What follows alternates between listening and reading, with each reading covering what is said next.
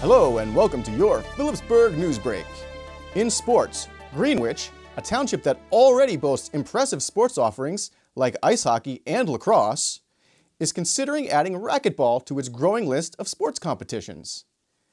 Said one member of the athletic club, We're really excited about the possibility of adding such an intense sport where our athletes can play balls to the wall the whole game.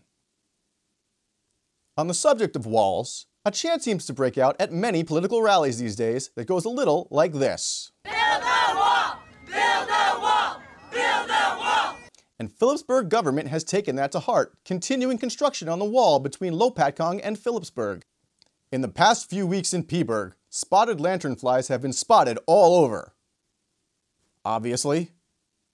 If you spot a lanternfly, you might be a tattoo artist. The proper procedure when seeing a lanternfly is to take a shoot first and ask questions later stance. Like so. Die, lanternfly! Die, lanternfly! Die! Die! Die! Die! Die!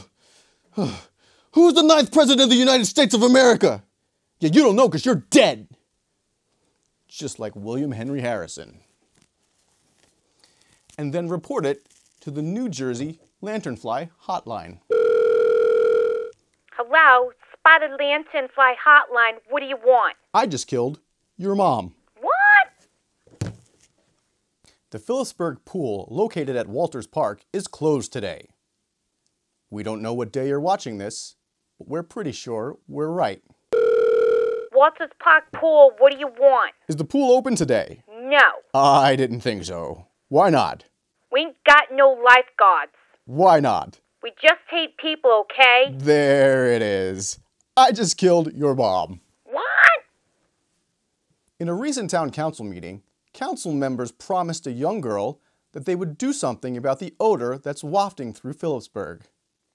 The stench has gotten so bad that many residents have had to run inside and snort air fresheners.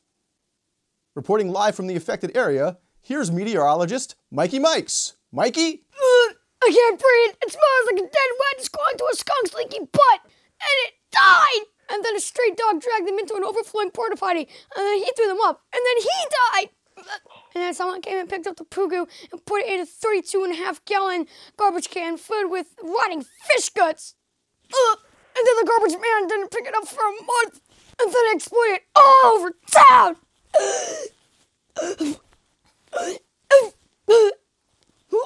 Oh.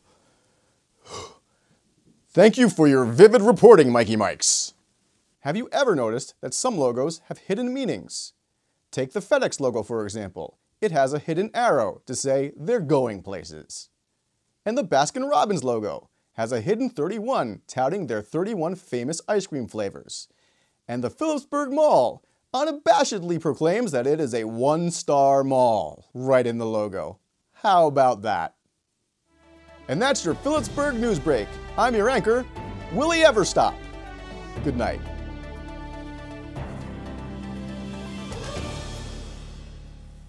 Oh, I can still taste it. It smells like someone just loaded all the three diapers in the world into a cargo jet and then made it all go down on Phillipsburg, all on the rooftops, and then they exploded onto all the buildings. And then they died. And then an overflowing dog potty potty John. No. That's not right at all. Slow down your overflowing potty potty John. Slow down your mind. Oh! How many looks does it take to get the Tootsie Roll center of a Tootsie Pop? How do they make unsweetened iced tea? Do they like put the sweetness in it and then take it out? Or is it just like regular tea with no sweetness in it? Yeah, you don't know, you bloated ladybug. Uh, Why do we have to save the bees? So we can win at Scrabble? Yeah, you'll never win at Scrabble now because you're dead. Stupid dead.